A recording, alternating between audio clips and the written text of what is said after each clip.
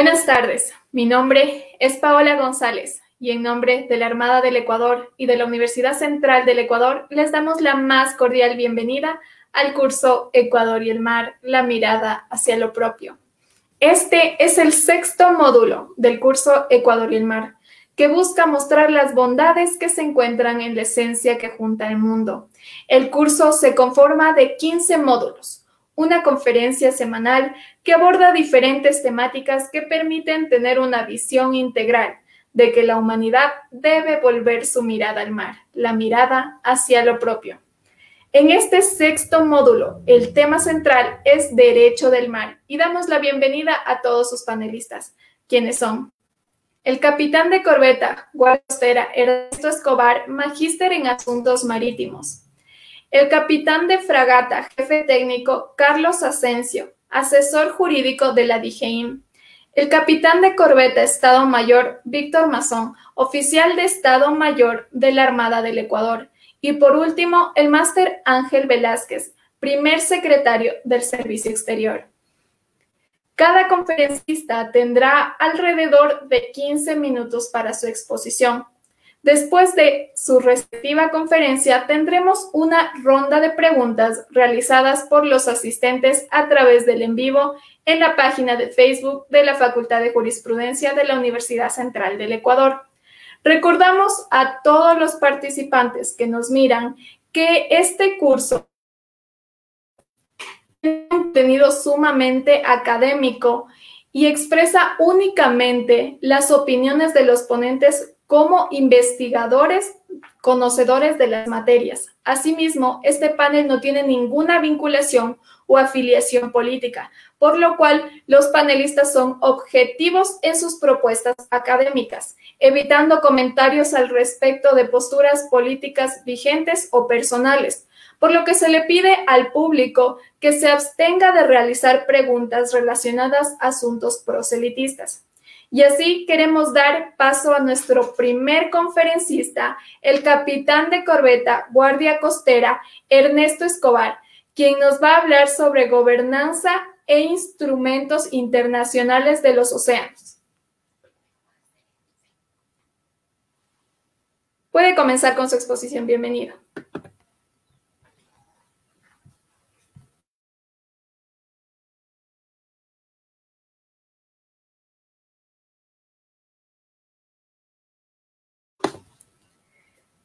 Vamos a comenzar con la intervención de,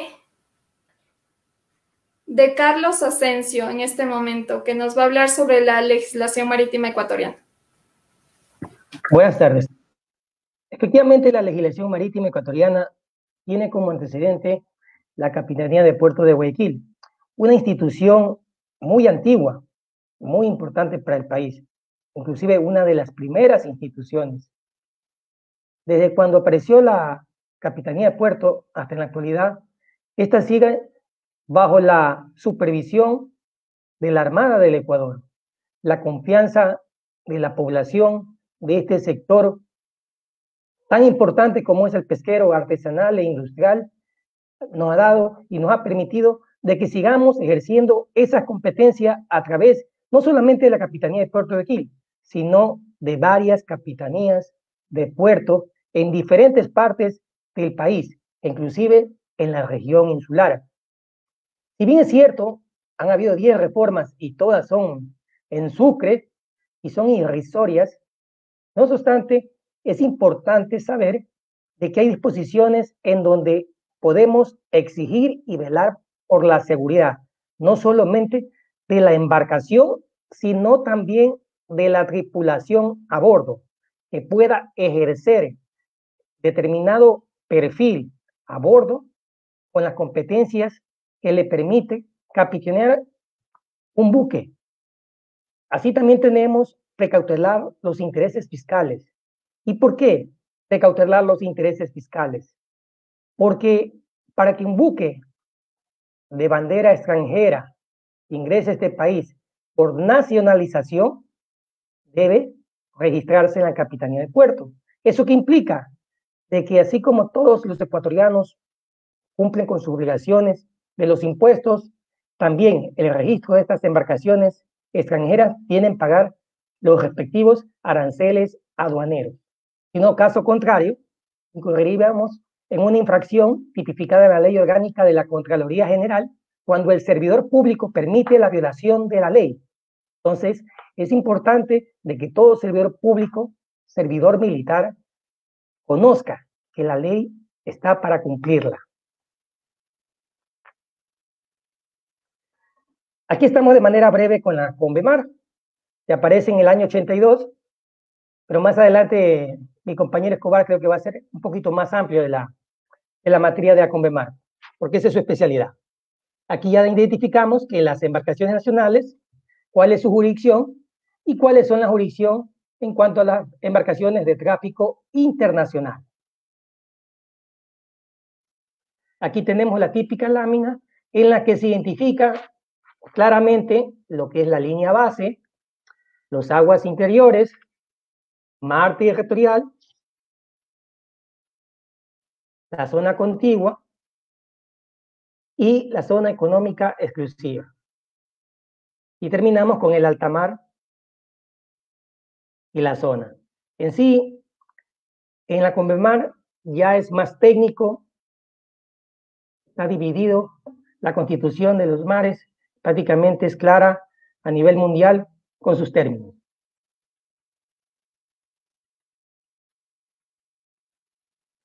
Entonces vamos a lo práctico, porque realmente aprenderse de memoria las cosas es imposible. Cuando aplicamos las leyes y dependiendo de las circunstancias y de los hechos, en este caso, vemos que hubo un siniestro marítimo en Galápagos aplicamos un convenio internacional dependiendo de las circunstancias. No obstante, el capitán de puerto de la jurisdicción, en base a sus competencias del Código de Policía Marítima, inicia una información sumaria. Como todo lo que pasa en Galápagos se conoce a nivel mundial, ya se imaginan que esto fue un caos en el año 2015. Más que todo porque el Parque Nacional, indudablemente, como autoridad competente representante del Ministerio del Ambiente, ellos también tienen que intervenir en una remediación, en una prevención, mitigación ambiental.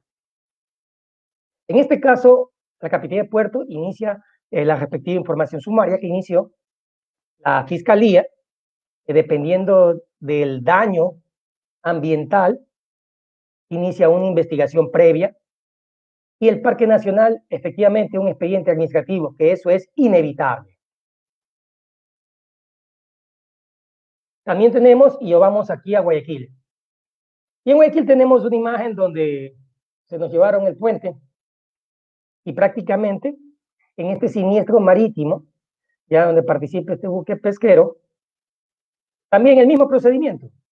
Se inicia el capitán de puerto la información sumaria para que investigue, pero en la investigación es una investigación técnica, técnica en lo profesional marítimo, distinto a la investigación que hace la Fiscalía, que es una investigación punitiva, y distinto a la investigación que realiza el Parque Nacional, ah, bueno, en este caso el Ministerio del Ambiente, que es una investigación de competencia ambiental. Al final, en las resoluciones, en la de la Capitanía de Puertos, se establecen recomendaciones que son muy importantes y que sirven a la gente de mar para que no incurran en estos errores. En la Escuela de Medio Mercante también se impartan clases en las que se toquen estos casos que son conocidos, hagan un estudio de caso, para que de esa manera tengan la suficiente experiencia y evitar esta clase de siniestros que son muy lamentables. Y aquí vamos a la más importante, y es la del COVID.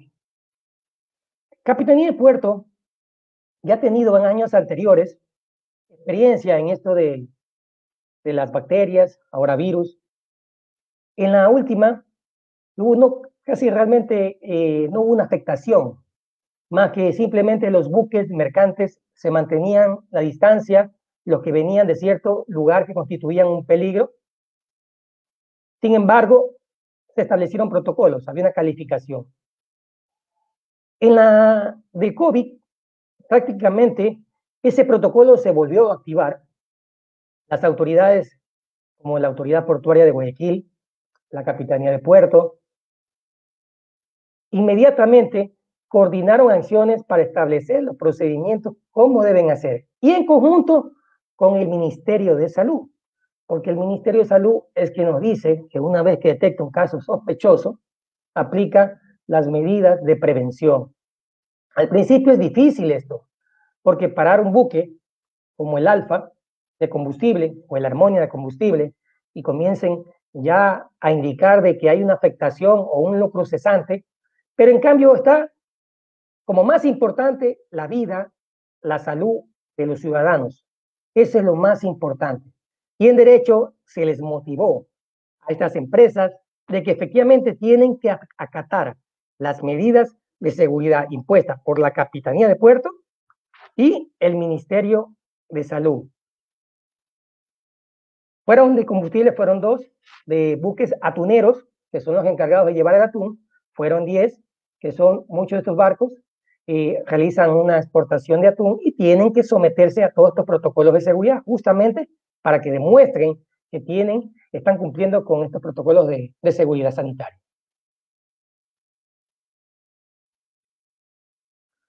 Y aquí un tema bien conflictivo, los piratas. Los piratas, en la Convemar tenemos varias definiciones. Sin embargo, en el Código Orgánico Integral Penal realmente no hay una definición de piratas. Eh, y cada vez que hay alguna situación de violencia en los espacios acuáticos, hablan de, piratería. Eh, los piratas fueron sangrientos, usaron la violencia, pero en sí, eh, aquí lo que ha habido es delincuencia común, en la que gente de mar, gente de pesca, que conoce la navegación, porque igualmente usted tiene que para salir a navegar tiene que tener una matrícula de la embarcación, tiene que tener una matrícula personal. Entonces, son personas que ya conocen el medio, ya conocen sus papeles, y cuando nosotros los cogemos ya en flagrancia, en la persecución, ellos terminan las evidencias con las que participaron para hacer el asalto, terminan botando las armas de fuegos al agua. Entonces, en ese sentido, este es un problema tremendo y es un problema social, porque el pescador artesanal es un gran número en el cual está representado en todo el perfil costanero. Y ahí, eh, durante mi experiencia, y lo que yo he podido percibir en la Capitanía de Puerto, es de que debemos eh, proyectar como antes era. Antes las Fuerzas Armadas hacíamos acción cívica, independientemente de quién lo hacía, eran las instituciones del Estado que hacían una acción cívica. Y en lugares donde ni siquiera iban o no les conocen, no tienen ni escuela ni dispensario, ahí estaba Fuerzas Armadas con todo ese equipo de trabajo. Entonces, eso tenemos que retornar. El sector pescador de artesanales es un sector que realmente casi no tiene esa aceptación por la querer estudiar o empiezan estudiando y luego se dedican por la necesidad de comer o de trabajar para poder subsistir ellos y su familia y ya dejan de estudiar. Y aquí también vemos que la problemática del sector artesanal una cosa es, en mi experiencia, la problemática del sector de Puerto Bolívar, que el año pasado, si mal no recuerdo, afectaron casi a toda la provincia. Afectaron toda la provincia, todo el comercio. Entonces hubo una afectación económica. Y entonces, no es lo mismo las acciones en Puerto Bolívar que en Esmeraldas. Esmeraldas también son otra clase de situaciones inclusive en las que ya van más allá y tratan de agredir ya al personal militar, con el pretexto de que somos culpables por alguna supuesta inacción, cuando no es así, porque cuando se reporta la llamada de emergencia, indudablemente destacamos la unidad al sitio. Entonces, en ese sentido, con los medios que tiene la Armada del Ecuador, hace su mejor esfuerzo para dar esta seguridad. Este sector es importante para todos nosotros porque produce. ¿sí? También el sector industrial, el sector atunero, también necesita esa seguridad. En todo caso, eh, mi recomendación a ustedes que van a ser autoridades, eh, cuando sean autoridades, se acuerden de este sector. Y voy a contar una pequeña experiencia. Cuando el gobernador de Esmeraldas dijo que hagamos una acción en Limones, en una isla, y digan que como hay alto índice delincuencial, hagamos un decomiso de motores. El gobernador de Esmeraldas eh, realmente parece que no conoce, no ha palpado, pero los marinos, los uniformados, los militares que conocemos, eh, esos lugares que están abandonados, que conocemos que en el momento que esa población, primero no se les regulariza, porque hay que regularizar su, modo de, operar en la parte económica. Entonces, yo le indiqué al gobernador, usted primero tiene que darle una oportunidad, porque el momento que usted comisa, van a venir traficantes a poner sus embarcaciones y van a estar siendo sometidos, cuando lo contrario es regularizar, educar a esa gente, porque no hay realmente una buena educación. Entonces, en ese sentido, este es un sector de frontera de Esmeralda que sigue siendo muy peligrosa y va poco a poco eh, una situación muy deprimente. Hay más cosas que tuve la experiencia en, San Lorenzo. ¿Cómo puede pasar que en el año 2012, en una reunión que fui con autoridades, donde estaba la Defensoría Pública, la Fiscalía, jueces, policía, algunas instituciones también de la mujer, ellos contaban de que había un delincuente, uno de los más famosos en San Lorenzo, que por dinero ya le pagaba a la abuela para que las nietas de 8 y 12 años se prostituyan. De verdad que eso me causó indignación. Como ecuatoriano yo no, yo me sentí muy mal. Ese mismo día yo acompañé a todas las autoridades y al siguiente día se pudo evacuar personas. Yo creo que esa es una satisfacción más tremenda de las que yo he podido hacer durante mi experiencia de vida como autoridad marítima o como policía marítima.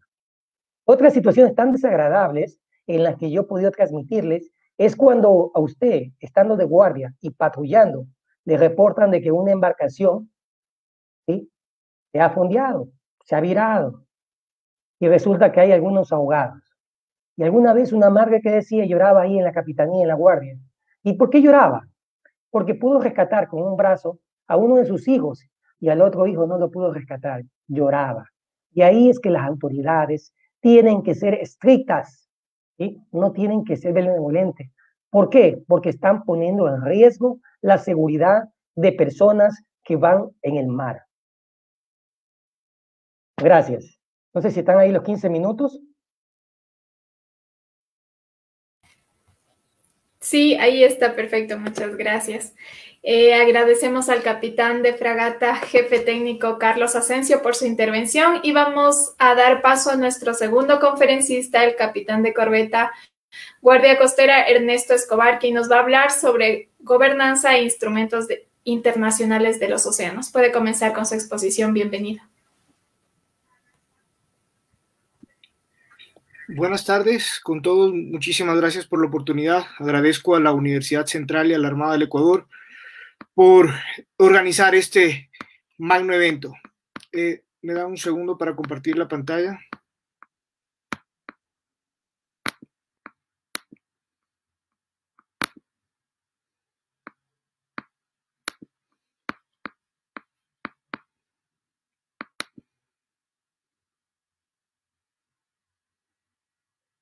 Creo que ahí está.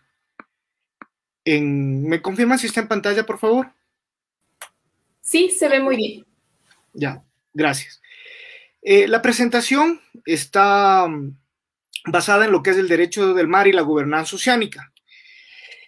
ha sido estructurada de la siguiente manera. Primero, eh, hablar sobre las eh, generalidades de lo que es la gobernanza, la gobernabilidad, hablar cómo la Organización de Naciones Unidas aporta a la gobernanza oceánica y finalmente hablar sobre la Convemar y cómo estructura la gobernanza. En lo que se refiere a las generalidades, primero debemos partir por un concepto de gobernanza, que es la capacidad de interacción de actores estratégicos para generar una respuesta técnica y política a los requerimientos y necesidades de la sociedad, que permitan que esa respuesta sea eficaz, eficiente y de calidad. Ahora, ¿qué es la gobernanza oceánica? Ya comprendiendo el concepto de gobernanza, ¿cómo se aplica a, a los océanos? Entonces, la gobernanza oceánica puede entenderse como la capacidad de interacción de los actores relacionados con el mar para generar respuestas técnicas y políticas para un manejo eficaz, eficiente y sustentable del mar. En este sentido, los actores estratégicos son los estados, los organismos internacionales, las organizaciones no gubernamentales y la comunidad marítima, cuyo interés de actividades se desarrollan en torno al mar.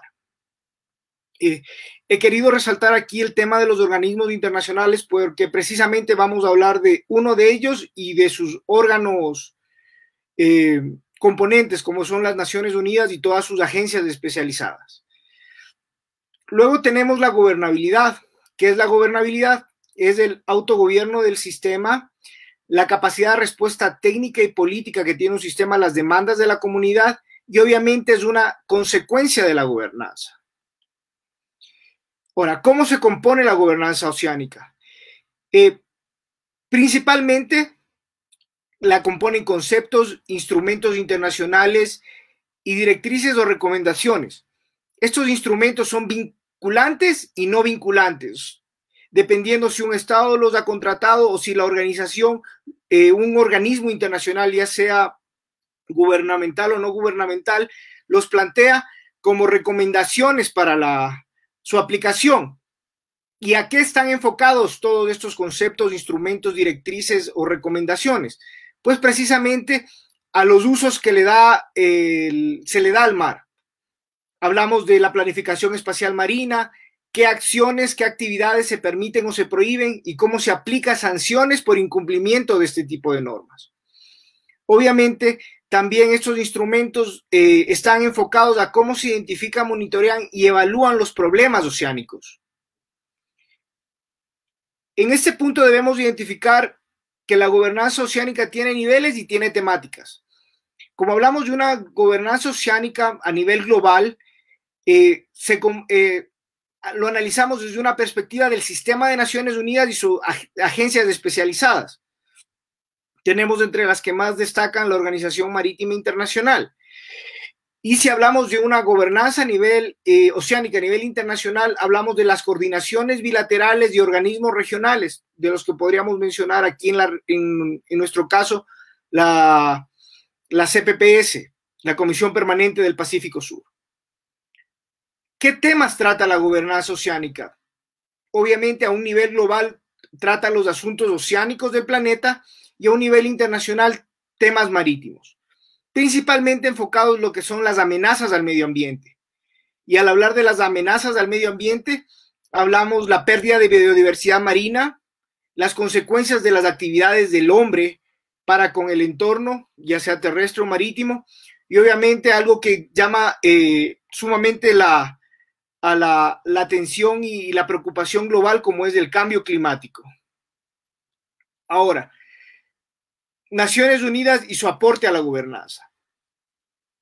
En pantalla tenemos en este momento cómo está estructurado el sistema de Naciones Unidas. Como ustedes pueden ver, es un, sistema extremadamente complejo y amplio, pero para eh, analizar los temas de gobernanza oceánica me voy a enfocar únicamente en cuatro puntos básicos. Primero, dentro de sus órganos principales, en las acciones que realiza la Asamblea General eh, para fortalecer la gobernanza oceánica lo que hace el secretario general, hablaremos bajo el secretario general lo que realiza la Oficina de Asuntos Jurídicos y algo de los organismos especializados.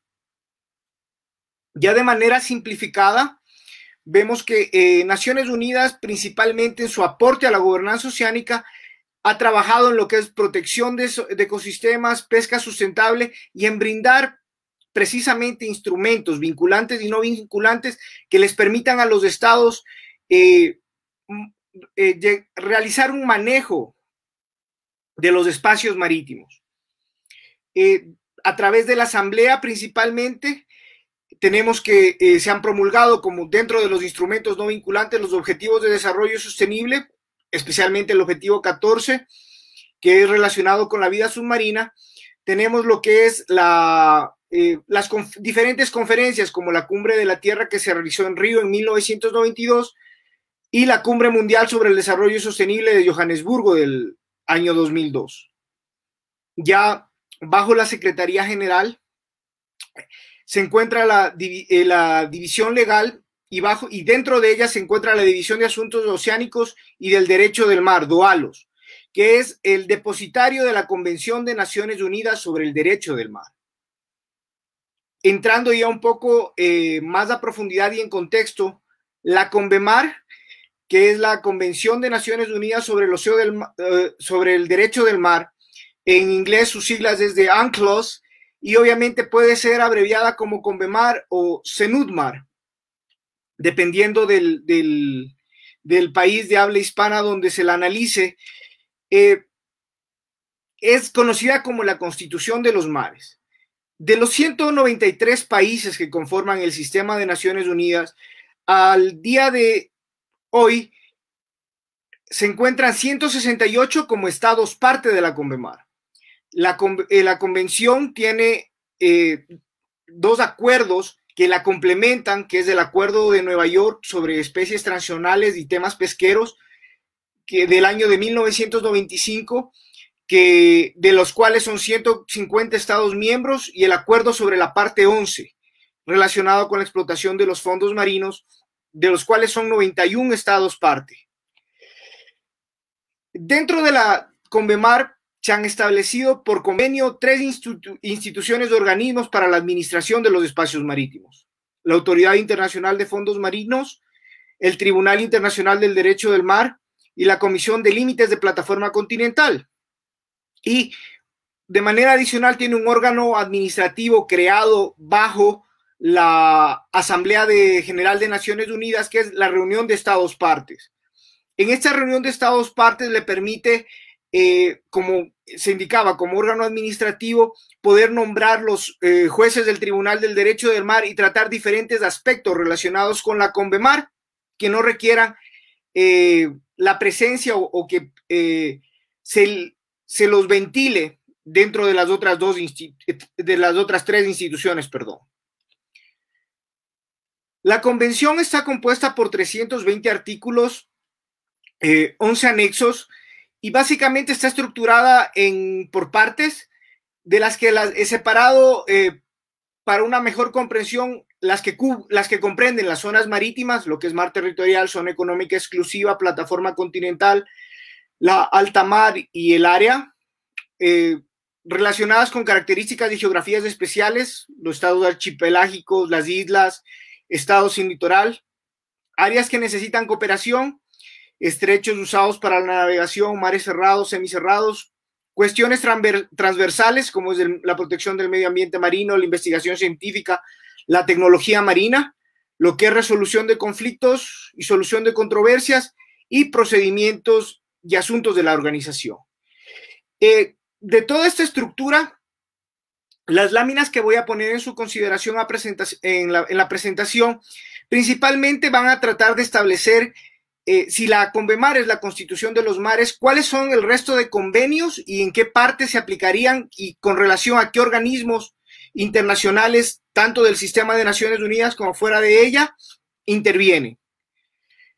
Entonces, en lo relacionado a gobernanzas de las zonas marítimas, lo que es mar territorial, zona contigua y eh, que es la parte 2 del sistema de Naciones Unidas, uno de los principales convenios que eh, interviene es el convenio de Basilea. Tenemos el convenio de señales de navegación de 1930 que fue promulgado por la Liga de Naciones, que es el predecesor de Naciones Unidas.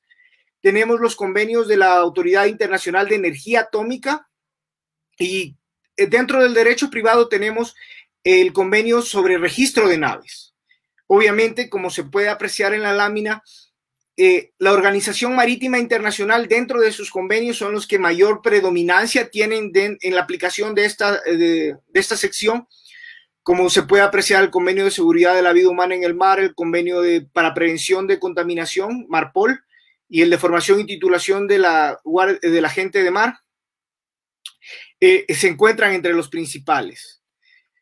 En lo que son la gobernanza de las zonas marítimas y los estados con características especiales, eh, lo relacionado a las zonas especiales como los estrechos y los estados archipelágicos, se aplican de manera similar los principales convenios de la Organización Marítima Internacional y resaltan convenios no vinculantes, como por ejemplo eh, las resoluciones de la Cumbre de la Tierra de Río de 1992 y la Cumbre Mundial sobre el Desarrollo de Johannesburgo. También tenemos lo que son el Código de Conducta para la Pesca Responsable y otros instrumentos más de la FAO. Así como también al hablar de navegación, no solamente es la navegación terrestre y la navegación, sino también la navegación aérea por estos espacios y resalta el convenio de Chicago, que es el convenio constitutivo de la Organización eh, de Aviación Civil Internacional. En lo que se refiere a la zona económica exclusiva y la plataforma continental, obviamente también eh, se destacan las disposiciones de la cumbre de Río y de eh, la cumbre de Johannesburgo, en lo que se refiere al marco de Naciones Unidas, en lo que es la Organización Marítima Internacional, tenemos el convenio de, Londres referente a lo que son vertimientos de sustancias o hacia el mar. Y como se había mencionado también en lo que se refiere al hablar de protección de recursos eh, vivos especialmente se encuentran los instrumentos de la FAO, como el Código de Conducta eh, para la Pesca Responsable, de protección de tiburones y otros instrumentos relacionados con temas pesqueros. Y dentro de, de los acuerdos que aplican esta parte que se encuentran en organismos eh, no gubernamentales tenemos la Comisión Interamericana del Atún Tropical, que es una de las principales dentro de lo que de todos los instrumentos, porque no son los únicos, sino que los que se aplican a la región tenemos la Convención de Antigua y obviamente el convenio que constituye la Comisión Permanente del Pacífico Sur, CPPS. En lo que se refiere al alta mar, eh, Principalmente tenemos los convenios de Naciones Unidas eh, para represión eh, de actos ilícitos, como son el narcotráfico, la trata de personas, obviamente los convenios de FAO para protección y preservación del medio, de las especies, de los, de los recursos vivos, los convenios de la ITU, eh, la Organización Internacional de Telecomunicaciones, precisamente porque dentro de los delitos marítimos se encuentran las transmisiones ilegales desde eh, el alta mar para interferir con los estados. Y obviamente los principales convenios de la Organización Marítima Internacional que destacan en el alta mar son los convenios de intervención y los eh, enfocados a la prevención de contaminación del medio ambiente marino y la prevención de actos ilícitos como el SUA. Eh, ya en lo, relacionado a cuestiones transversales, eh, tenemos dentro de los convenios a destacar los de la, el Organismo Internacional de Energía Atómica, precisamente para regular el traslado de materiales radioactivos a través del mar y su explotación eh, principalmente en lo que es en el transporte marítimo el, convenio de Chicago de la Organización Aeronáutica Internacional, el convenio de trabajo marítimo de la Organización Internacional del Trabajo y eh, los convenios de la Organización Marítima Internacional, principalmente aquellos enfocados a la prevención de la contaminación eh, por las actividades marítimas. Ya en la parte final, eh, lo que son provisiones generales Principalmente destacan los convenios de la Organización Marítima Internacional relacionados a la, protección del medio ambiente y a la responsabilidad civil, ya sea por contaminación o por accidentes marítimos. Dentro de ellos también tenemos el convenio de creación del, Fondo Internacional para la eh, para la prevención de, em, contaminación marina que genera los fondos internacionales conocidos como FIDAC, que son aquellos que eh, comparten lo relacionado a indemnización en caso de siniestros. También tenemos el convenio de la UNESCO para preservación del patrimonio subacuático y los convenios de la Autoridad Internacional de Energía Atómica relacionados con la prevención de eventos principalmente de, relacionados con accidentes eh, de embarcaciones que transporten energía nuclear. Eso en, con relación para que se vea de una manera algo sucinta cómo los diferentes organismos, los diferentes eh, agencias especializadas de Naciones Unidas, organizaciones eh, no gubernamentales participan e incorporan toda la, reglamentación internacional eh, a la Convemar para estructurar la gobernanza oceánica. Muchas gracias.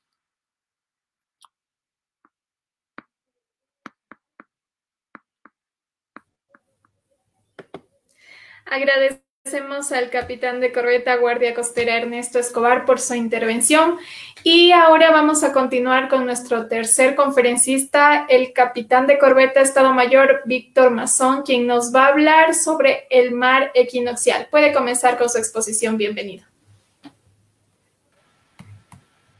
Buenas tardes con todos. Para mí es un verdadero gusto estar una vez más con la Universidad Central Agradezco a las autoridades. Desde el 2015 he tenido la oportunidad de participar en estas conferencias con ustedes sobre el derecho del mar y son muy importantes para que sean difundidas eh, en el país. También saludo a los que están compartiendo esta tarde conmigo las presentaciones. Eh, para ahora se ha preparado el tema el mar equinoccial, que recoge un poco los, los conocimientos que, que ya los, mis antecesores brindaron. El mar equinoccial como tal es una teoría eh, geopolítica marítima en la cual se enfoca el interés del Estado en las áreas tanto de jurisdicción nacional como más allá de la jurisdicción nacional.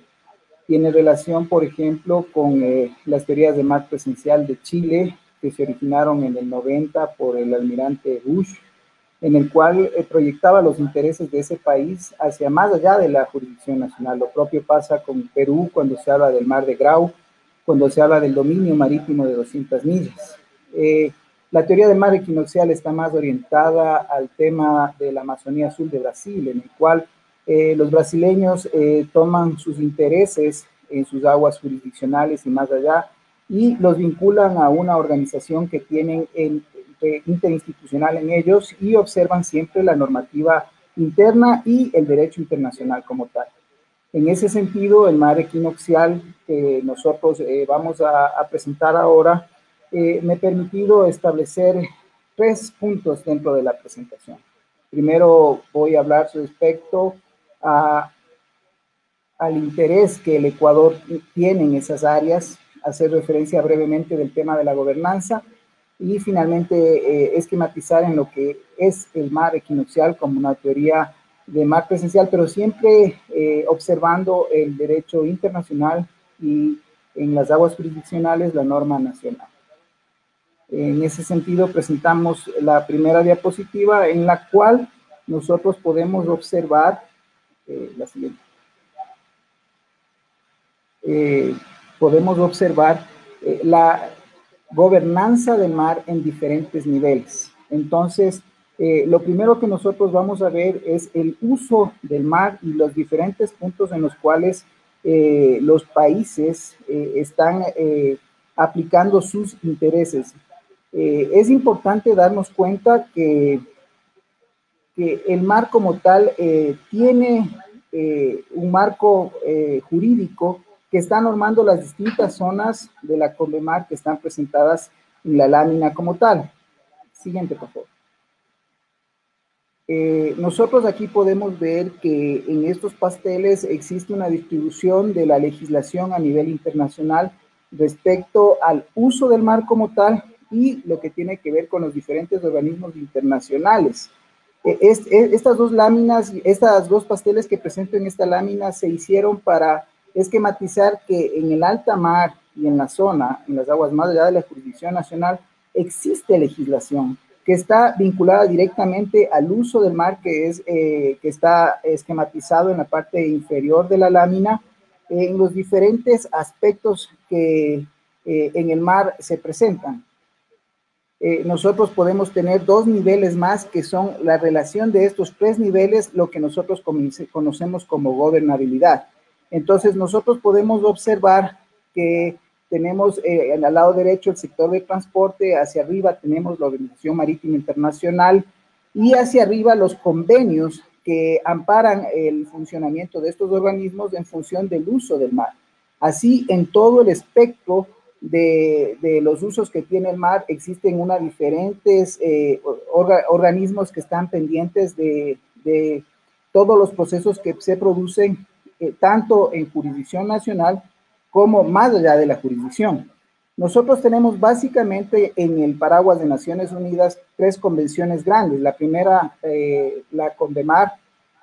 Eh, la CONDEMAR tiene dos acuerdos de aplicación. El primero que es referido a la zona, al suelo y subsuelo que se presenta en la alta mar. También tenemos el segundo acuerdo de aplicación, que es el Acuerdo de Nueva York sobre especies altamente migratorias y transzonales. El Ecuador se adhirió a finales del 2016 y ahora se está negociando un tercer acuerdo de, de aplicación de la CONVEMAR sobre eh, recursos genéticos marinos que se conoce como BBNJ, eh, que regula en sí la bioprospección como tal. Otro convenio de las Naciones Unidas que también se refiere al mar es eh, la Convención de Biodiversidad Biológica, que está orientada específicamente en jurisdicción nacional. Eh, la Convención de Biodiversidad Biológica contempla los objetivos de desarrollo, especialmente el 14, que por ejemplo tiene una meta como la meta de Hachi, en la cual se hablaba del 10% de áreas marino eh, protegidas. Nosotros cumplimos, digamos, aproximadamente al 12% hasta el 2020. Entonces, aquí en este convenio también tiene el tema de las EPSAS como tal.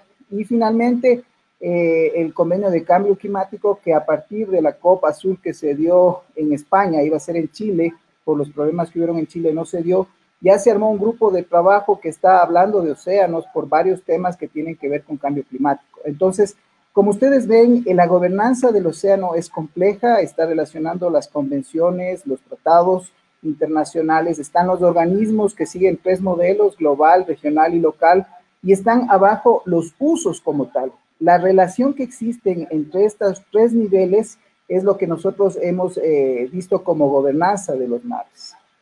Eh, nosotros después de esto podemos ir analizando cada uno de los, de los usos que están en, la circunferencia de la derecha, que son seis que están presentados ahí, en función de las zonas que están determinadas en la Convemar en la, en la circunferencia de la izquierda. Ahí nosotros vemos que está esquematizado la alta mar, la zona, como zonas de más allá de la jurisdicción nacional. Y tenemos los, la soberanía como tal, que está relacionada con las aguas archipelágicas, aguas interiores, mar territorial, y los derechos de soberanía sobre zona contigua, o zona económica exclusiva. Eh, nosotros podemos ir identificando cada uno de, de, los usos, en este caso, por ejemplo, la navegación. Entonces, los países en la alta mar tienen la libertad de navegar como tal. Eh, eh, lo mismo, lo propio en la zona económica exclusiva. En lo que tiene que ver en aguas archipelágicas, aguas interiores y mar territorial, tenemos el paso inocente y está definido así en la Convemar. Eh, también el paso por las vías marítimas archipelágicas y obviamente dentro de aguas interiores se observa la soberanía como tal.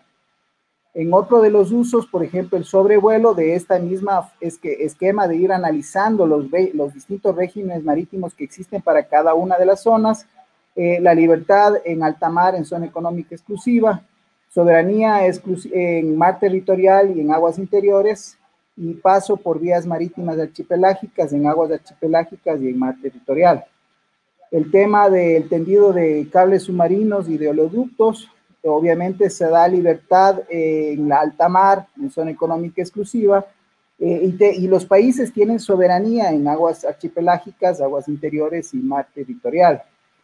En el tema de islas y otras instalaciones, tenemos eh, soberanía en aguas archipelágicas, aguas interiores y mar territorial, y jurisdicción específicamente en plataforma continental y zona económica exclusiva. Para el tema de de los recursos no vivos, estamos hablando de los recursos submarinos, tenemos tres tipos de recursos submarinos, En zona económica exclusiva tenemos eh, en plataforma continental derechos de soberanía sobre estos recursos y soberanía en los recursos que se encuentran dentro de aguas interiores y mar territorial. En esto también cabe recalcar que la regulación de la zona o el área de estos recursos no vivos eh, se encuentran a cargo de, de, la Autoridad Internacional de Fondos Marinos, que es uno de los organismos de la CONDEMAR, eh, atendiendo que estos recursos son eh, patrimonio común de la humanidad. Eh, también tenemos el tema de la investigación científica. En la alta mar hay libertad para todos los países. En zona económica exclusiva y plataforma continental hay jurisdicción para los países, eh, los estados ribereños y soberanía en aguas interiores y mar territorial. Para lo que nosotros, para el tema de protección ambiental, en alta mar tenemos la obligación. Por ejemplo, eh, en cuanto a la libertad de pesca, siempre se habla de la sujeción de las medidas de ordenamiento y conservación. Ahí está eh, inmerso el tema de protección para esta, una de las actividades que regula la COPEMAR. Para el tema de protección en zona económica exclusiva y, plataforma continental, los, los estados ribereños tienen jurisdicción como tal y plena soberanía en aguas archipelágicas, aguas interiores y en mar territorial. Para el tema eh, de uso como tal, nosotros observamos que está directamente vinculado con la protección. Y en ese sentido, el interés del Ecuador se ha unido en tener una ecuación eh, perfecta entre la protección y el uso sostenible. Porque para nosotros obviamente es importantísimo las Galápagos, pero siempre vamos a tener también eh, pendiente todo el uso que se da en el mar como tal. Entonces, para hacer un resumen, la gobernanza está en función de todo lo que establece el derecho internacional y la norma nacional, que es lo primero que que, se, está, que se determina. Luego, la ecuación que el Ecuador en todas las negociaciones ha mantenido, eh, el respeto a la protección y el equilibrio con el uso sostenible que se da en el mar en los diferentes eh, temas que hemos tratado. Luego, la identificación de las áreas de interés nacional, que se da de dos formas. La primera, por eh, los recursos que se genera, o sea, el porcentaje de ingresos de exportaciones totales vemos cuáles son los productos que están generando y que vienen directamente del mar. Y lo otro está relacionado a soberanía, por ejemplo, la definición del límite exterior más allá de las 200 millas que busca la reivindicación de suelo y subsuelo con el derecho de soberanía de esos recursos, también está inherente a la soberanía marítima y es parte de la definición de áreas de interés nacional. Todos estos elementos llegan al mar equinoccial como tal. Eh, nosotros tenemos en Ecuador un sistema de planificación eh, que está contemplado en la Constitución como el régimen de desarrollo. Eh, dentro de esta, nosotros tenemos ya elementos que se refieren al mar, como las políticas oceánicas, como el plan de ordenamiento marino costero, que tiene que evolucionar y ser integral y considerar todos los espacios marítimos Después tenemos la agenda interinstitucional del mar que ya aterriza para que luego haya proyectos. Lastimosamente en este periodo no se logró concluir esta agenda, pero las herramientas para la planificación transversal que están en función del Comité Interinstitucional del Mar, que es el mecanismo que tenemos en el país, que esperamos que funcione, son los que están establecidos para que haya este desarrollo y la determinación de estas áreas de interés como tal. Esto nos lleva a nosotros a siempre tener presente que las aguas jurisdiccionales del Ecuador son supremamente grandes. Estamos hablando que el 82% del territorio total del Ecuador representa aguas jurisdiccionales. Y si nosotros ya eh, logramos eh, establecer los estudios para la extensión de la plataforma, vamos a poder tener unidad geográfica por suelo y subsuelo las áreas, nosotros tenemos una sola zona económica exclusiva en dos áreas, en la, en insular y en la continental. Con la extensión nosotros podremos tener suelo y subsuelo donde tengamos plenos derechos de soberanía y de esta manera nosotros alcancemos la, la tan deseada unidad geográfica. Siguiente. Eh, y con todo lo que hemos dicho, nosotros llegamos directamente al concepto de mar equinoccial, que son las áreas de interés del Ecuador y están reflejadas básicamente primero en las Galápagos como tal, que es uno de los primeros componentes que nosotros siempre observamos. Luego está en la zona de alta mar, en las, en las áreas de la zona económica exclusiva insular y continental. Tenemos al oeste de las Galápagos la influencia de la corriente de Cromwell, que es una, una, corriente que va a 100 metros de profundidad y golpea contra las Galápagos y genera gran biodiversidad. Eh, tenemos las zonas de pesca que van mucho más allá en, en, el, en, el, Océano Pacífico, hacia el oeste. Tenemos las zonas de interés eh, de explotación de recursos mineros en la zona, que está a cargo de la Autoridad Internacional de Fondos Marinos tenemos las áreas de interés de la Antártida como tal, tenemos las áreas de surgencia y de afectación de la corriente de, de, Humboldt, donde nosotros año a año tenemos una gran presencia de calamar gigante e inclusive hay zonas en las cuales nosotros encontramos bacalao de profundidad, que es una especie que está en la Antártida, sin embargo, por ciertas condiciones oceanográficas las tenemos nosotros en la zona económica exclusiva. Entonces, todas estas áreas que estoy mencionando son parte de ese mar equinoccial que tiene que ser definido, siempre atendiendo todas las regulaciones que están establecidas tanto en derecho internacional, con la gobernanza compleja que existe en los océanos y con las normas nacionales que nosotros hemos levantado y, el, y haciendo que el mecanismo que tenemos, como es el Comité Interinstitucional del Mar, funcione para que pueda darse un manejo adecuado de todo este espacio marítimo que es de interés del Estado ecuatoriano y por ende debería ser interés de todos nosotros como parte de, este, de esta gran nación, de este gran Estado marítimo. Eh, esto es lo que yo tenía para ustedes esta tarde, un poco hablarles de la gobernanza como tal y dónde llega el interés del Estado ecuatoriano que se define en este gran mar equinoccial que debemos conocer y construir. Muchas gracias.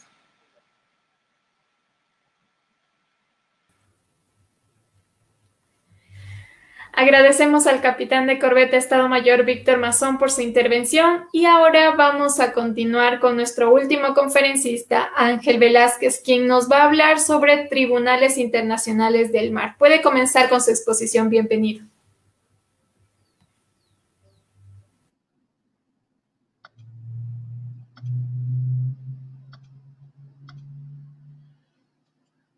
Buenas tardes con todos. Eh, no sé si me están escuchando. Tal vez tengo algunos problemas para activar la cámara. No sé qué sucede. Sí, por el momento no lo vemos, pero lo escuchamos bien. Bueno, no sé qué, qué es lo que sucede en realidad eh, para, para, activar la cámara. Bueno, eh, primero que todo, muy buenas tardes. Muchas gracias la invitación a Héctor, Héctor Tapia, a la Universidad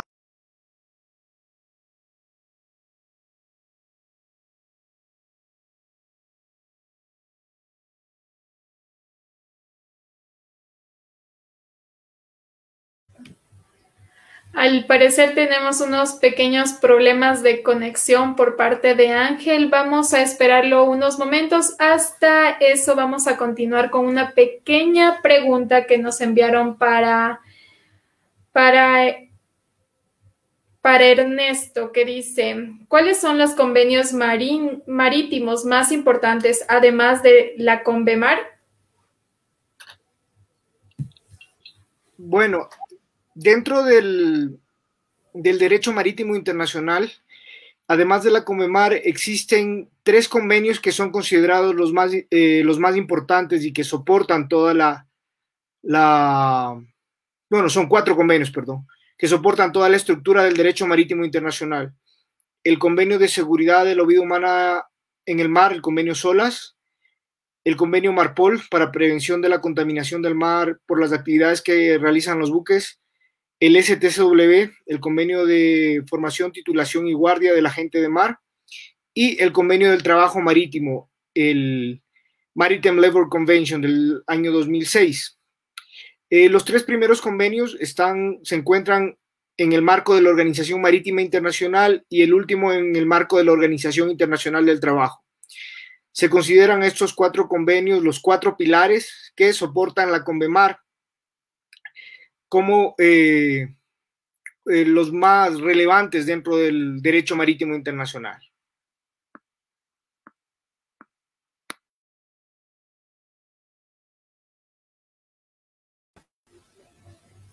Muchas gracias por su respuesta. Y aquí nos llegó otra pregunta que dice, a su criterio, ¿cuál es la fortaleza y las oportunidades de la legislación ecuatoriana en temas del mar? Dentro de lo que es la legislación ecuatoriana, creo que quedamos un poquito debiendo eh, esa, esa, tarea. Realmente, eh, en legislación ecuatoriana, en la parte positiva podría indicar lo que hace un par de años actualizamos la ley de pesca y la armonizamos con los instrumentos internacionales, algo que el Estado requería precisamente para poder cumplir eh, con temas de exportación y apertura de mercados de nuestros productos del mar. Se logró realizar la actualización de la ley de pesca. Eh, dentro de la parte administrativa, eh, podemos decir que, por ejemplo, el Código de Policía Marítimo eh, fue promulgado en el año de 1944, tiene cerca de 80 años de estar en, vigencia, ha sido actualizado y enmendado muchas veces, pero este instrumento legal requiere ser armonizado para que la gobernanza internacional, la gobernanza oceánica y la gobernanza internacional se armonicen con la normativa interna. Entonces es una tarea que está, que está pendiente Dentro de otra de las ventajas también tenemos el Código de Comercio que fue actualizado hace pocos años también en la parte correspondiente a comercio marítimo. y el, ya un poquito más abajo dentro de la normativa, vía decreto ejecutivo se actualizó el Comité Interinstitucional del Mar, eh, tratando de darle un enfoque un poquito más amplio dentro de, los, eh, de las instituciones del Estado que forman parte y apuntalan la gobernanza. Se cambió un poco la, estructura, la presidencia antes la tenía eh, Planifica Ecuador, que antes era mm, la, la Secretaría Técnica del Mar Ahora eh, la presidencia del CIM la tiene el Ministerio de Relaciones Exteriores y Movilidad Humana. Entonces, eh, dentro de este aspecto lo que habría es que mejorarla y activar los, organismos pertinentes, eh, tratar de actualizar la, la, normativa. Por ejemplo, otro ejemplo también, en el año 2012 nos adherimos a la Convemar y uno de los instrumentos dentro de la legislación nacional que requiera ser actualizados del Código Civil, especialmente en el artículo que habla de la extensión del mar territorial. Entonces, eh, dentro de las fortalezas, yo resaltaría eh, el tema de pesca principalmente como parte un, fundamental del Estado para ingreso de divisas y en el resto habría que trabajar bastante principalmente en la actualización de la normativa que nos permita eh, estar a la par de cómo ha evolucionado el derecho marítimo internacional. Gracias. Muchas gracias Ernesto por dar respuesta a las preguntas que nos hacen llegar a través del en vivo. Bueno, parece que ya hemos solucionado los problemas de, de Ángel y vamos a continuar con la conferencia de él. Eh, gracias, estimada Paola. No sé si me están escuchando bien. Lastimosamente los temas tecnológicos están un poquito complicados. Acá en Estados Unidos eh, hubo una, una, tormenta el día de ayer y pues la comunicación está bastante, bastante complicada. Eh, bueno, en primera instancia agradecer a Héctor, como decía anteriormente, a la Universidad Central del Ecuador por haberme invitado, tomado en cuenta para este, este interesante, eh, para abordar este interesante tema y conferencia. Eh, mi saludo muy, muy cordial y fraterno para los comandantes que están eh, en la mesa hoy en la noche, hoy en la tarde también. Mi, gran respeto a ellos por, por cómo, eh, por la experticia con la que llevan el tema. Un saludo fraterno especialmente al comandante Víctor Mazón. Lo conocí en la Cancillería. qué gusto compartir, compartir con ustedes esta tarde. Bueno, a mí me ha tocado hablar un poquito sobre eh, sobre eh, el sistema de solución de controversias, el sistema de solución de controversias en el marco de la Convemar. Eh, muchas gracias, ahí está ya la, presentación. son un poquito de, un poquito de, unas pocas diapositivas nada más para guiar, para guiar la conversación. Bien, vamos a ingresar en este tema de manera breve y hacerlo con un recuento histórico cortito para más o menos posicionarle, eh, posicionar a las personas que están escuchando esto en cómo se encontraba el mundo en el, momento en el que se estaba negociando la construcción y la creación de este sistema de solución de controversias. ¿Qué pasaba en el sistema internacional contemporáneo cuando se estaba negociando esta situación? El 3 de diciembre eh, de 1973 se declara la tercera conferencia de las Naciones Unidas sobre el Derecho del Mar, eh, durante la cual se redacta la convención. En este, en este proceso de redacción, varios delegados eh, presentes en las reuniones eh, en la cual se desarrolló esta conferencia tenían distintas visiones de cómo implementar un sistema de arreglo judicial con carácter obligatorio, con poder coercitivo. Eh, los pensamientos de duda se dirigían en este entonces a que los estados tradicionalmente no estaban aptos o, voluntarios como para eh, ceder su soberanía en un nivel tan amplio y, a una, y menos aún a, a un organismo tan joven eh, y sin experiencia en estos temas. pero sí se tenía ya clara, se tenía clara eh, la idea de la necesidad de que exista una, em, de que exista un, ente institucional de, mejor manera que aboque conocimiento de las controversias en relación a los temas del mar. Eh, ya en 1975, eh, recuerden que en 1975 ya salíamos el mundo, el sistema internacional contemporáneo salía ya de la guerra de Vietnam, estábamos en plena, en plena guerra fría, mundo bipolar, pero ya existía la necesidad y el reconocimiento de contar con, un ente de estas características. En este sentido, aquí se manejaban dos bandos específicos, algunas delegaciones que preferían que todos los temas del mar sean entregados a la jurisdicción de la Corte Internacional de Justicia, que para ese entonces ya había resuelto algunas algunos temas en materia, en materia del mar.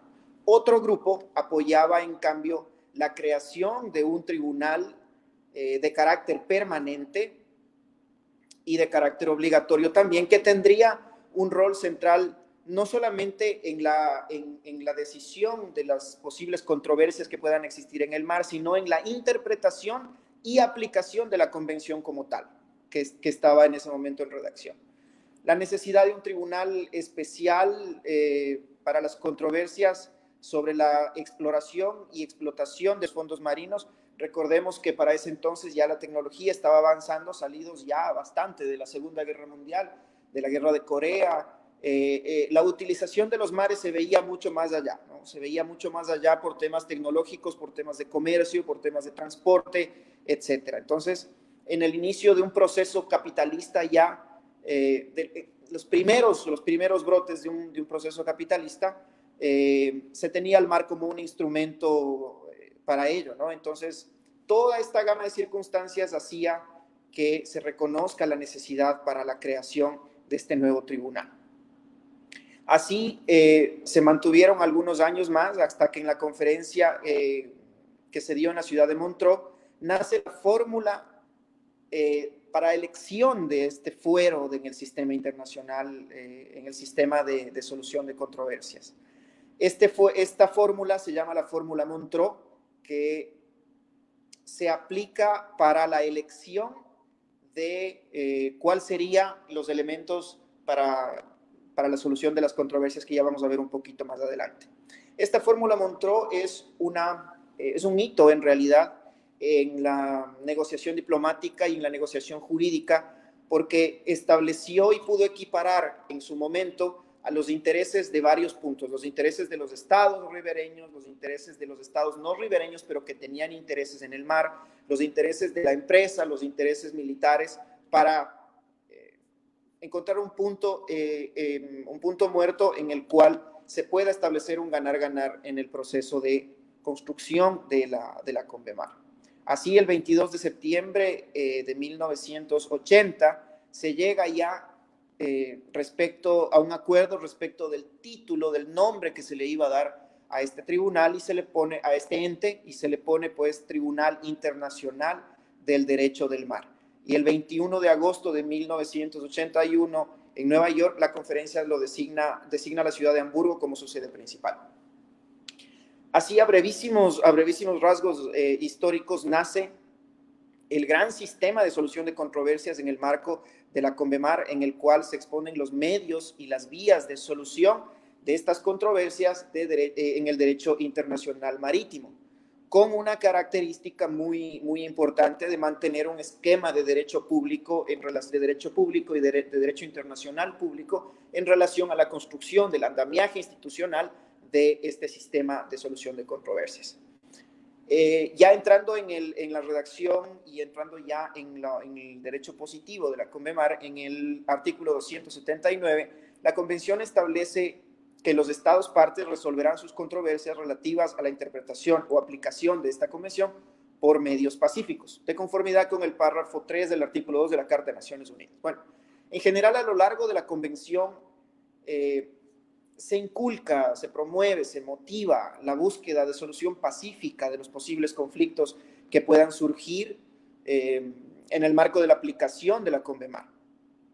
Y es así que la norma construye un andamiaje institucional, a mi modo de ver, bastante completo, bastante completo e interesante para, para este fin, eh, con, con, muchísimas características positivas eh, en relación al derecho eh, ya aplicado, al derecho del mar ya aplicado, siendo, siendo blanda y rígida a la vez.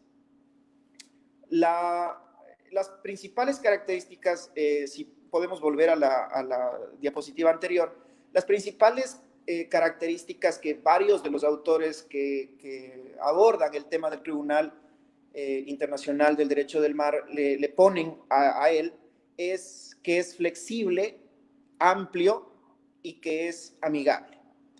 Flexible porque eh, permite a los estados la opción, les faculta a los estados a que puedan elegir entre los diferentes fueros para solucionar sus controversias. Ya vamos a ver más adelante cuáles son los fueros, a qué le llaman fueros eh, estos, estos autores. ¿no? Eh, permite a los estados escoger cualquiera de los, de los cuatro fueros existentes en este momento y que forman parte del andamiaje institucional de la, de, la solución de controversias en la CONVEMAR. Es amplio porque eh, en un principio todas las controversias relativas a la interpretación y a la aplicación de la convención y a, más y acuerdos relacionados pueden someterse al sistema. Es decir, su competencia amplia hace que no tenga solamente, eh, no aboque conocimiento solamente de los temas per se de la convención, del texto de la convención, sino puede también eh, abocar eh, conocimiento de contratos, acuerdos que en su texto le den capacidad y le den jurisdicción y competencia al tribunal. Le dan la característica de amigable por la posibilidad que no tienen las otras, eh, la gran gama de instituciones jurisdiccionales a nivel mundial, jurisdicciones internacionales me refiero a nivel mundial, eh, de acceso a varios sujetos de derecho internacional, lo que eh, la Convemar lo llama estados parte, ¿no? una, una interpretación amplia de lo que quiere decir estados parte, muchísimos entes y actores pueden acceder al tribunal, inclusive personas naturales, la empresa, eh, los estados parte, ONGs, etcétera, ¿no? Es, una, es una institución que maneja eh, un lenguaje muy claro, lenguaje muy claro, guías para presentar los escritos, flexibilidad en las decisiones, flexibilidad en las fechas para, los, para el escogitamiento de las audiencias, en los procedimientos, tiene reglas simples, es, em, no cobra costas judiciales a las partes y tiene varios acuerdos eh, financieros para que las partes, dependiendo su realidad, puedan acogerse a financiamiento para pagar a los abogados. ¿no? Entonces, este tipo de cosas hace que sea eh, amigable y que, como les decía, varios autores eh, concuerden en que tiene características que no tienen otros entes jurisdiccionales a nivel mundial. La siguiente, por favor. Eh, Entrando ya a analizar el andamiaje institucional del sistema de solución de controversias, eh, nos encontramos eh, que el mecanismo tiene dos vías, dos vías para manejar esto. los medios eh, diplomáticos o medios no jurídicos y los medios jurídicos. Si pueden eh, pasar la siguiente diapositiva, por favor. Exacto, muchas gracias. Varios autores eh, establecen, los nombran como, como no jurídicos, como diplomáticos, como pacíficos, y a los otros como jurídicos, como, bueno, en varias denominaciones. en realidad en el tema de la academia no hay no hay candados ni lazos para este tipo de, interpretaciones. En este, en este caso vamos a llamarle no jurídicas o diplomáticas y jurídicas. ¿Cuáles son los medios eh, no jurídicos o diplomáticos que tienen los estados para solución de las controversias en este gran andamiaje de solución de controversias en el marco de la convención? Estos son, eh, no es una lista exhaustiva, pero pueden ser las negociaciones diplomáticas, los acuerdos previos, sean bilaterales, multilaterales, eh, los buenos oficios, la mediación, las comisiones de investigación y la conciliación. En ellos no intervienen, en ninguno de estos intervienen organismos jurisdiccionales u organismos arbitrales, sino pues otros órganos eh, relacionados con el conflicto directamente o relacionados con los estados directamente parte del conflicto. Su función eminentemente es facilitar la solución por medio de acuerdos eh, entre las partes, pero no proponen un acuerdo, un acuerdo en sí. Es importante el tema de la conciliación porque la conciliación, a pesar de ser un medio diplomático o no, o no jurídico eh, para la solución de controversias, está reconocido por la CONVEMAR como parte de este andamiaje institucional, como parte de, eh, de todo el aparato de solución de controversias. En el artículo 284 de la Convención se establece que el Estado parte, que sea parte de una controversia relativa a la interpretación o aplicación de esta convención, podrá invitar a la otra u otras partes a someterla a la conciliación de conformidad con el procedimiento establecido en la sección 1, anexo 5, o con otro procedimiento conciliador. Es decir, la, la conciliación forma parte del andamiaje institucional de la solución de controversias en temas marítimos.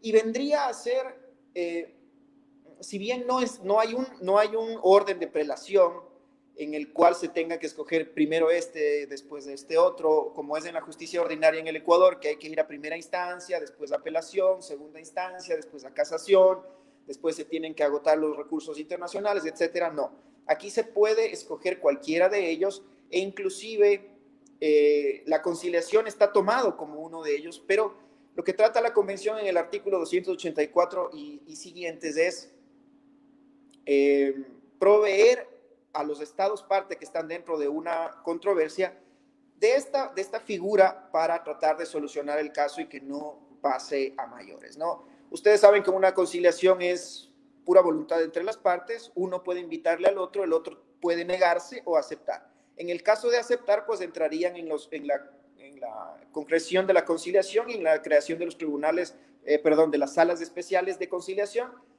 Eh, y en el caso de no darse la conciliación, en el caso de que uno de, uno de ellos no acepte, pues pasarían al, a, la, a la fórmula Montreux de escogitamiento de los medios judiciales.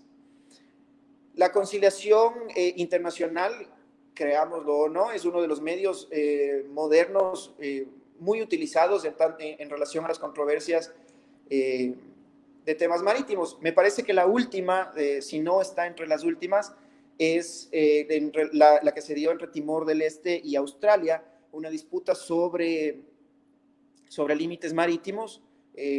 los comandantes estarán mucho más enterados que yo en este tema. Se dio en el 2016 y se llegó a un acuerdo en el 2018. Eh, me parece que es, entre las últimas que se dio. Entonces, como podemos ver, en, tema de conciliación, dentro del andamiaje institucional, esto voy a repetirlo varias veces, dentro del andamiaje institucional de la convención, la, conciliación está formando parte activa de, estos, de esta solución de controversias, que juega un papel importantísimo eh, en, reservado para el tema de, arbitraje y temas judiciales, pero no, como dije antes, no se manejan temas, temas judiciales ni jurisdiccionales, sino más bien es un nivel de conciliación y un nivel diplomático. Ahora, los medios jurídicos.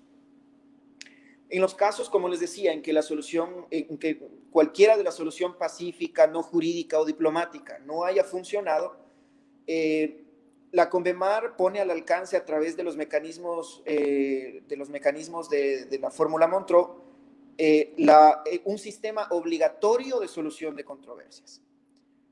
El artículo 286 de la Convemar, para varios autores internacionales y nacionales, se convierte eh, en, una piedra angular, digamos así, del sistema eh, de solución de controversias, no solo en temas marítimos, sino a nivel mundial. ¿Por qué? Porque genera competencia obligatoria como regla general. Y esto es, es importantísimo. Lo cual supuso un avance y un fortalecimiento en el derecho internacional, señalando que, pues, que toda controversia eh, relativa a la interpretación o aplicación de esta convención, cuando, eh, cuando no haya eh, dado resultado la sección 1, se someterá a, se someterá a ella a petición de cualquiera de las partes, ¿no? sea la corte o tribunal o los que vamos a mencionar a continuación.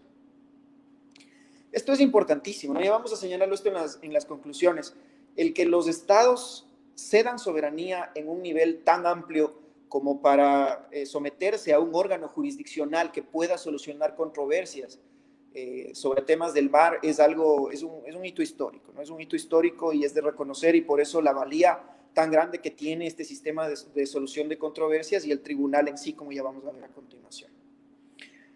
Así, el, el, eh, en el artículo 287 de la, de la convención, este, este artículo marca la pauta eh, de las alternativas posibles al momento de la solución de un posible conflicto en relación a la aplicación o a la interpretación de la convención. Y principalmente eh, establece pues la estructura que brinda un sistema sólido y claro para los estados que se encuentran en un, en un conflicto y pues para el sistema internacional contemporáneo en sí.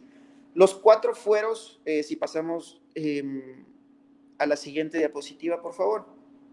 Los cuatro fueros o los cuatro las cuatro patas sobre las cuales eh, se asienta la mesa del sistema eh, de solución de controversias en temas jurídicos eh, son el Tribunal Internacional del Derecho del Mar, la Corte Internacional de Justicia, el Tribunal Arbitral constituido de conformidad con el anexo 7 y el Tribunal Arbitral Especial constituido de conformidad con el anexo 8.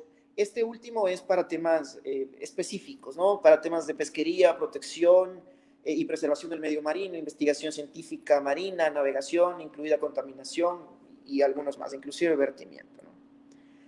Entonces aquí se establece... Ah, claro, recordamos que le quedan dos minutitos para culminar con su inter. Bueno, eh, me parece entonces que voy a pasar a las, a las conclusiones rápidamente para, para terminar con esto. Eh, es importantísimo, eh, hasta el momento no se han dado eh, conflictos de competencia ni conflictos contenciosos entre el tribunal y la, y la Corte Internacional de Justicia u otros miembros u otros instrumentos. Esto es importantísimo porque se maneja con un tino muy especial la jurisprudencia emitida por, por las dos. ¿no? La Corte Internacional de Justicia es un, es un monstruo jurídico y pues el tribunal ha hecho esto con un, con un tino muy, muy especial.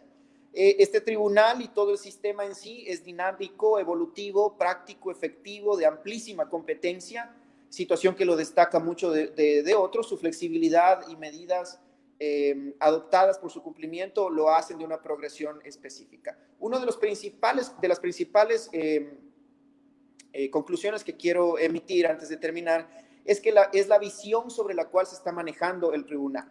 Los resultados emitidos del tribunal tienen una visión muy, muy clara para proteger al medio marino, en especial las especies vivas, la aplicación de líneas de acción legales y procedimentales para prevenir daños en el medio marino refleja un sentido y un espíritu de aplicación de la norma muy, muy bueno de protección y de conservación. Entonces, esto es, esto es eh, eh, magnífico en relación a la protección del medio marino y sobre todo tiene mucha aplicación y mucha proyección en el tema de la gobernanza de los océanos. Eh, la jurisdicción exclusiva de, una de las salas para, el tema relacionado con la zona es muy, muy importante, forma parte también del sistema y esto deja ver la proyección importante que tiene para los próximos años en relación a la explotación de, a la explotación de los fondos marinos y sobre todo ayudará en, mediano y en largo plazo, estoy seguro y eso aspiro, al manejo eh, jurisdiccional de alta mar. Si bien existen muchísimos, muchísima normativa que puede reglar, reglamentar esta, eh, eh, los usos y, y, malos usos que se da en alta mar, pues lastimosamente caemos en un vacío, ¿no? Eh, esto ayudará muchísimo esta, esta sala especializada en la zona y en, sí el tribunal y la aceptación del tribunal que ha tenido a nivel mundial ayudará muchísimo a, a, esta, a esta concreción. Eh, pues bueno, lastimosamente por temas, temas de tiempo se queda muchísima información en el tintero. Esperamos que esto, eh, esto haya sido de, de, de, utilidad. Estoy pues a las órdenes con esto. reitero mi saludo a todos los presentes y pues con muchísimo gusto estamos a las órdenes.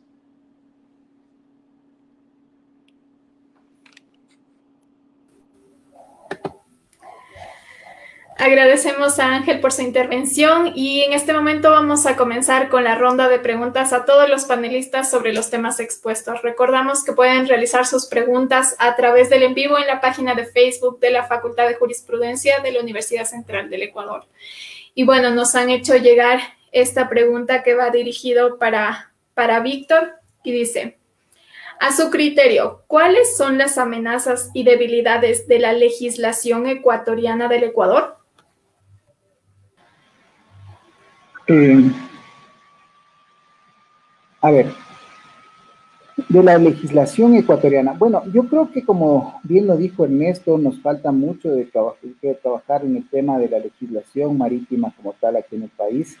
Eh, yo, yo, quisiera destacar más bien las fortalezas que tenemos. Ahorita nosotros tenemos un comité interinstitucional que fue modificado a finales del año pasado y yo creo que esa es una buena perspectiva que nos puede ayudar a desarrollar otras cosas, porque por ejemplo, dentro del sistema de planificación, eh, todos sabemos que están los consejos sectoriales y a través de los consejos sectoriales se establece la planificación a todos los niveles. En cambio, para el tema marítimo, que es transversal, también existen instrumentos que están contemplados como las políticas, el plan eh, de ordenamiento y la agenda interinstitucional que tiene que construirse. Entonces, yo creo que el mecanismo está, lastimosamente no ha funcionado, eh, y este mecanismo, que es el Comité Interinstitucional del Mar, que reúne a todos los ministerios que son competentes de actividades que tienen vinculación al mar, es donde debe proyectarse esa necesidad de legislación que, que, nosotros eh, que tenemos. Eh, por ejemplo, nosotros nos adherimos al Acuerdo de Nueva York ah, en diciembre de 2016 y estamos, o creería que estamos trabajando en realizar los estudios científicos para determinar las áreas, las especies altamente migratorias y a su vez con esta información establecer las medidas de ordenamiento y conservación tanto en zona económica exclusiva como en alta mar. Esto es uno de los primeros pasos que nosotros necesitamos para hacer eh, actividad, operaciones de control y vigilancia en las zonas aledañas a las aguas jurisdiccionales y de esta manera ejercer el derecho de visita que tienen los países para controlar que se cumpla con la libertad de pesca con sujeción a las medidas que se determinen. Entonces, por ejemplo, tenemos ya el ingreso a este convenio internacional muy importante. ¿Qué nos falta? Que las autoridades se junten y empiecen a hacer estos estudios, se, elaboren los mecanismos para que eh, las autoridades de control puedan ejercer esos derechos de visita, inclusive en, zonas aledañas a la zona económica exclusiva. Estamos hablando de alta mar, eh, más allá de la jurisdicción nacional. Entonces, los instrumentos eh, internacionales bien empleados pueden ser usados para que los intereses del país eh, sean respetados en ese sentido. Entonces, yo creo que ese mecanismo nos puede ayudar a coordinar de una manera efectiva para poder ver esos vacíos legales que tienen que irse construyendo. Como bien lo dijo Ernesto, eh, ya tenemos una nueva ley de pesca, se está trabajando en la Asamblea ahorita para la ley de navegación, entonces, hay esfuerzos ah, en el entorno marítimo que se están haciendo para completar e, e, ese déficit que hacía mención Ernesto. No sé si con eso pude eh, cumplir con su expectativa de la pregunta. Sí, muchas gracias por su respuesta. Y vamos a continuar con esta pregunta que va dirigida para Ángel. Dice, ¿cuál es el factor fundamental en la solución de las controversias en el mar ecuatoriano? Eh, bueno,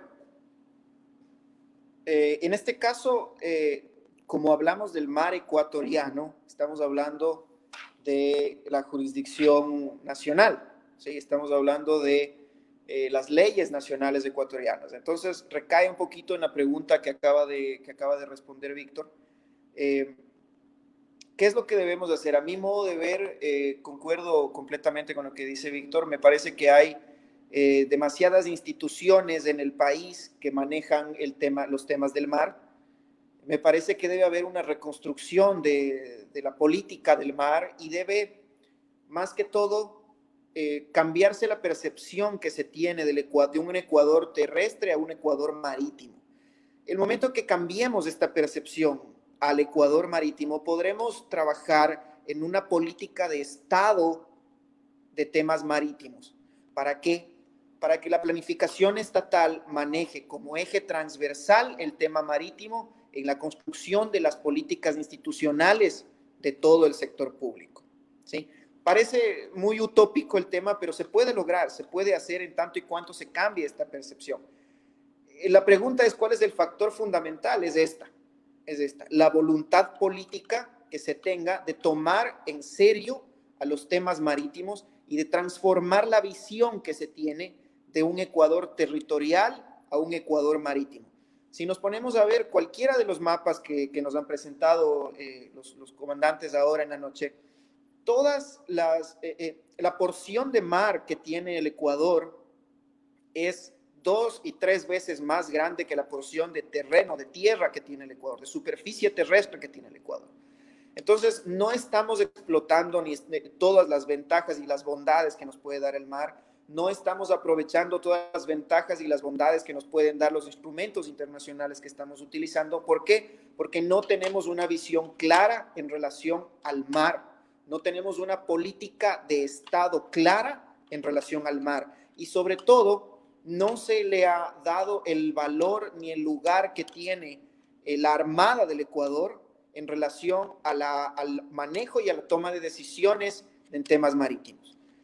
Mi punto de vista eh, es de una reestructuración del tema político a nivel nacional para que estos divorcios que existen entre distintas instituciones del mar eh, que manejan los temas del mar se borren y que sea una sola política la que maneje estos temas, creando un andamiaje institucional claro que pueda responder a las necesidades del Ecuador, como por ejemplo, si entran los buques chinos, si no entran los buques chinos, qué hacemos, cómo hacemos, quién maneja las cosas, si existen no solamente buques chinos, sino existe invasión de nuestro, de nuestro mar territorial por otras, otras cuestiones. ¿Qué hacemos con el tema de, de, piratas? ¿Qué hacemos con el tema de delitos en, eh, que se cometen en, en, las 200 millas en la zona económica exclusiva, en el mar territorial de las 12 millas? ¿Qué hacemos con, eh, con el petróleo que se encuentre en el, en el subsuelo? Es decir, todas estas preguntas tienen respuestas aleatorias, tienen respuestas, la Armada responde una cosa, la, eh, eh, otros otras instituciones responden otras cosas y no tenemos una unión clara central que, que, pueda mandar este tipo de temas. Me parece que esa sería la respuesta más, más obvia en relación al factor fundamental que pueda ayudar a la política del mar en el Ecuador, que va mucho más allá de una controversia que pueda darse en el mar ecuatoriano. Las controversias pueden darse, las soluciones parche pueden darse, pero no podemos manejarnos con soluciones parche. Debemos ir mucho más allá a la construcción de una política de Estado en relación al mar que pueda eh, eh, planificar un Ecuador como eje transversal eh, marítimo. Así es, muchas gracias Ángel por su respuesta y vamos a culminar con la última pregunta que va dirigida para Víctor. Dice, ¿Es, eh, ¿Es posible aplicar la propuesta del mar equinoccial en el mundo o al menos en el Pacífico Sur? Bueno, eh, antes de, contestar, quisiera eh, decir que todos necesitamos tener ese apasionamiento que tiene Ángel por el mar. Eso nos hace falta, nos hace falta sentir al mar, nos hace falta vivir del mar. Y bueno, te extiendo los saludos, Ángel. Eh, la primera vez que nos conocimos estábamos en los equipos negociadores de límites marítimos allá en San José hace algunos años atrás y, muy buenas experiencias a favor del Ecuador. En cuanto a la pregunta, ya se aplica. Eh, yo empecé mi presentación hablando de la Amazonía Azul. Eh, Brasil ya tiene un modelo que conjuga todos los esfuerzos interinstitucionales, tiene una política, tiene un ministerio del mar y, tiene clarísimo cuáles son los ingresos que ellos requieren. Ellos eh, trabajan mucho para el tema de las plataformas que se encuentran cercanas a la costa, inclusive lejanas a la costa, entonces, y ahora están trabajando muchísimo en el tema de recursos genéticos marinos. Entonces, la idea de esa concepción de, Amazonía Azul es real, es una propuesta de Estado. Eh, al otro lado, en el Pacífico, no existe realmente. Eh, la, propuesta de Chile es de la Armada, básicamente, de, de Perú es igual. Eh, de Ecuador hay muchas personas que han debatido muchísimo al respecto, porque obviamente lo que decía Ángel, nuestro océano es muy grande. Yo mencioné, es casi el 82% en relación a la superficie terrestre, y hay muchísimos intereses que no se ven, no se visualizan todavía. Entonces, claro, eh, mientras los ingresos no sean reales, es complicado ver la aplicación como tal pero como ya lo mencioné, existe los mecanismos, debería haber la voluntad política para esa construcción de esa política marítima dura. De esos nueve objetivos que tenemos actualmente en el Plan Nacional de Desarrollo, ojalá que para el siguiente plan eh, que se viene en los próximos meses, se incluya un objetivo del mar como tal que nos permita a todas las instituciones que estamos eh, trabajando en el mar eh, aunar esfuerzos y especialmente aprovechar esos mecanismos como el Comité Interinstitucional del Mar que nos permita construir esa política sólida que a su vez incentive que las personas empiecen a vivir del mar. Mientras nosotros no sintamos que, y no nos apropiemos del mar, no va a pasar nada.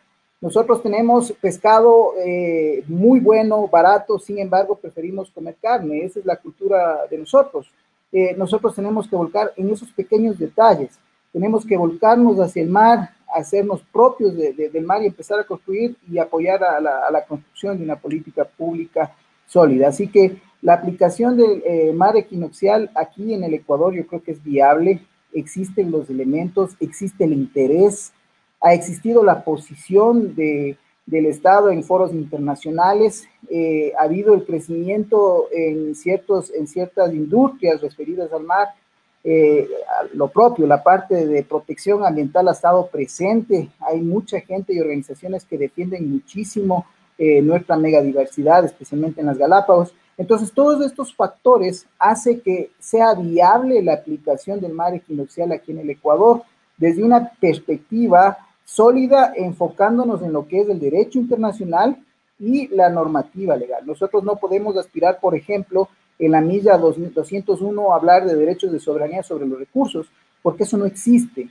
En la alta mar existe un marco jurídico establecido, igual en la zona económica exclusiva, y nosotros debemos usar esas herramientas de derecho internacional que no se han, no se han usado hasta la fecha para poder hacer real esta teoría del mar equinoccial como tal. Muchas gracias.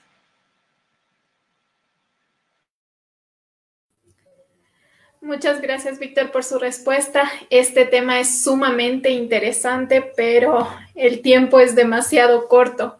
De todos modos, agradecemos a los conferencistas y a todos los participantes por el tiempo brindado a este sexto módulo del curso Ecuador y el Mar, la mirada hacia lo propio. Esperamos poder contar con su asistencia en el siguiente módulo, donde trataremos el tema sostenibilidad y conservación donde hablaremos sobre ecosistemas y métodos de conservación marina, migramar y el corredor de especies marinas migratorias, entre otras temáticas sumamente interesantes. Los esperamos el jueves 11 de marzo a las 5 de la tarde. Buenas noches.